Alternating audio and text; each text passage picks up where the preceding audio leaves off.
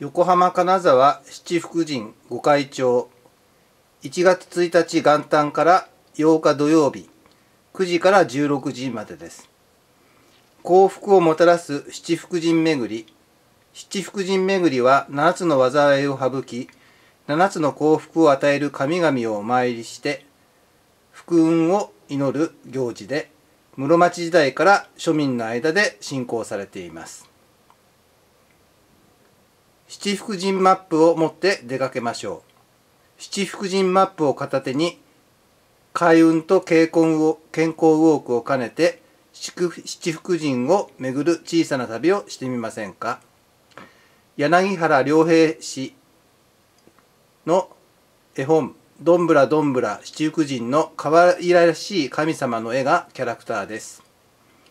七福神巡りはご開帳期間に限らず年間を通してもお楽しみいただけます。マップ配信場所マップ配布場所などは概要欄にアドレスを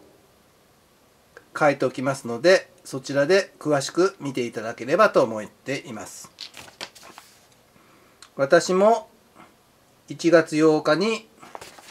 七福神巡りをしたいと思っています。また第18回横浜金沢七福神スタンプラリーは1月9日9時から16時まで行われるそうですこちらも概要欄の方に詳しい内容のアドレスを載せておきますので、ぜひ参考に見ていただければと思います。